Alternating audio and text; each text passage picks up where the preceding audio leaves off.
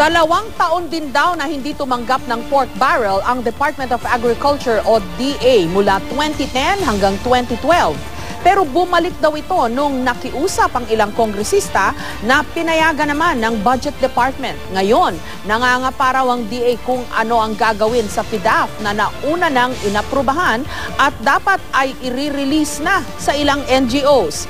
Live mula sa Quezon City, my report si Joseph Morong. Joseph?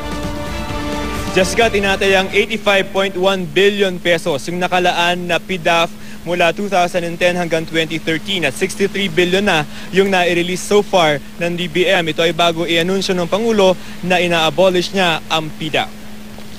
Actually po, actually po. Simula 2010 hanggang August 2012, ipinagbawal daw ng Department of Agriculture o DA ang tumanggap ng Priority Development Assistance Fund o PDAF galing sa mga mambabatas. Ito ay matapos lumutang ang balitang nagagamit ang dalawang government-owned and controlled corporation o GOCC tulad ng NABCOR at ZIREC na nasa ilalim ng DA sa maanumalyang paggastos ng PDAF. Pero sabi ni Agriculture Secretary Proceso Alcala, nakiusap raw sa kanya ang mga kongresista at pinayagan naman ito ng Department of Budget and Management o DBM.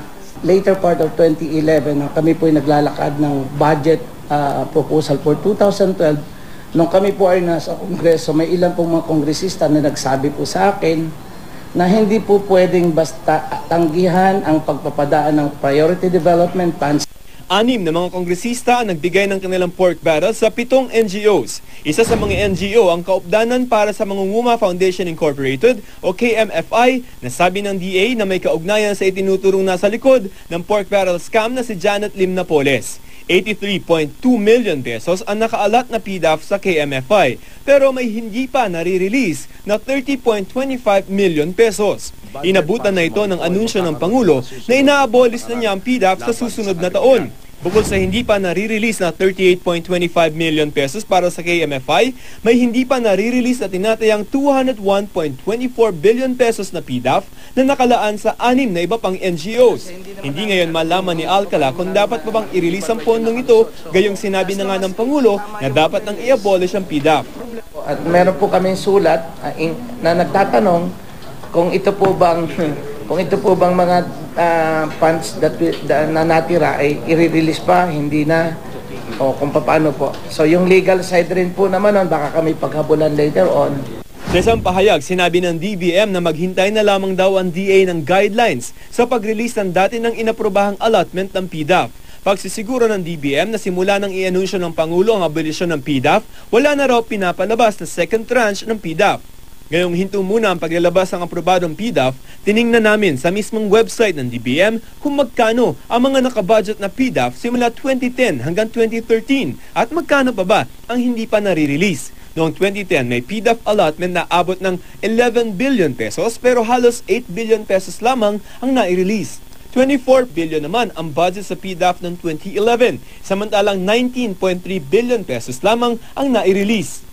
Noong 2012, 0.89 billion ang PDAF allocation at 24.213 billion pesos na ang nai-release. Itong 2013 lamang, 11.58 billion na ang nai-release na PDAF mula sa 24.79 billion na budget.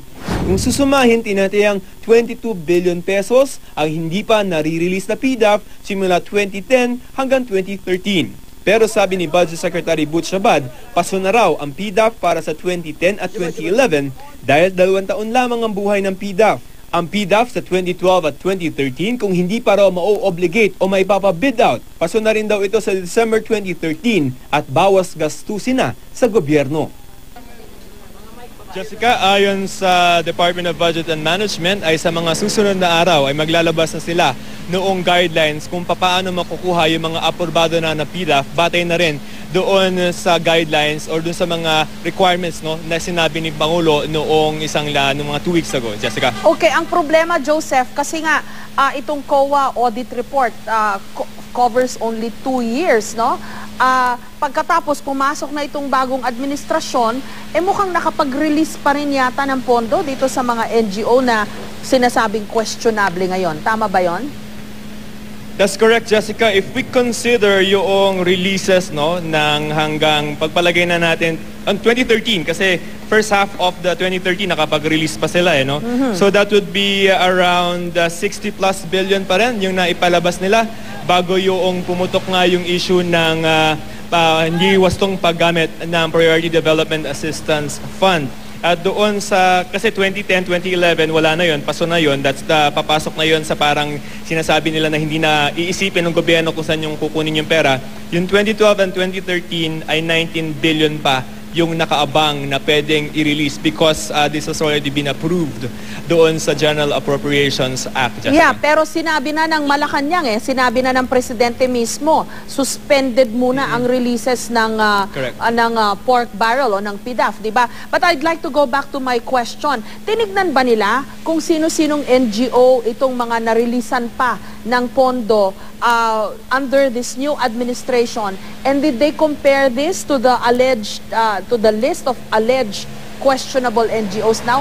Meron pa bang ah, narilisan ng pondo sa mga listahan ng mga questionabling NGO, Joseph?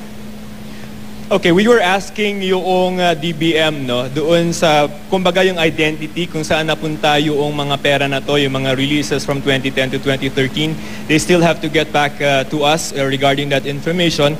Pero as far as yung nakita na natin kasi yung sa DA no because they audited um, yung 26 na NGOs. Ang sinasabi naman ni Secretary Alcala dyan ay uh, yung sa 26 na yan ang kumuha lang ng PDAF ay yung pito. At yung isa dyan ay yun yung connected daw dito kay uh, Janet Lim Napoles. So, um, meron pa silang tinitingnan na dalawang uh, NGO na parang medyo questionable because nung una may opisina tapos biglang nawala. So as far as the DA is concerned, kasi there are other agencies no, na dinadaanan ng PDAF. So may, may na tayo na gano'n na parang pinagdududahan ng DA, at least maybe tatlo pa na mga NGO at dun sa nakita nila dito sa ka, kaupdanan para sa Mangunguma Foundation Incorporated ay ah, yan nga ay nabigyan ng pera pagkatapos ay ah, yan ay ah, connected with JLN, Jessica. Okay, maraming salamat sa iyo, Joseph Morong.